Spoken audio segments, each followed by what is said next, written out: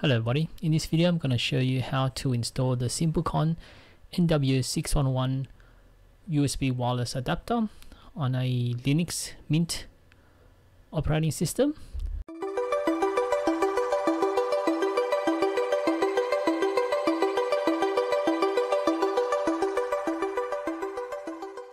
So this is the version of the USB wireless device that I have and I installed it on a Mint operating system and it didn't work using the drivers that I downloaded on this web page. So you need to download the drivers that I'll be showing you. I'll left a link in the description. So this is the device, Simplecom NW611AC.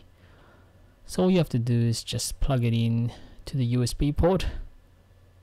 Then I'm going to show you the operating system, what I need to do.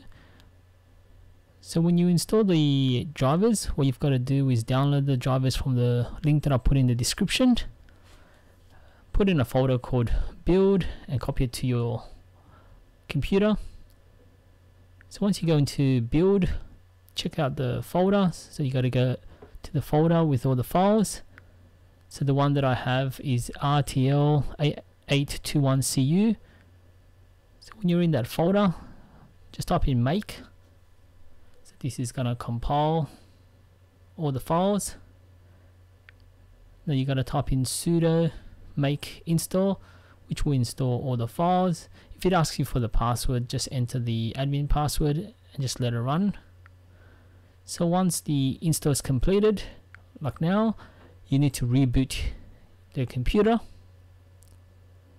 So I'm just gonna reboot it now in order for the drivers to take effect so just let the computer reboot. And wait until it goes into the operating system. Okay, so now it's started. So let's try the website and there we go, it works. And if you check the, the wireless, you'll see that there's a couple of wireless devices. The other thing to check is the actual device. At the moment you see that there's no blinking lights on the USB adapter. Once you install the drivers, you'll be basically seeing a blue light flashing. So I'm just gonna show you how that looks like. And there we go. You'll see the blue lights flashing which means it's working on the USB adapter.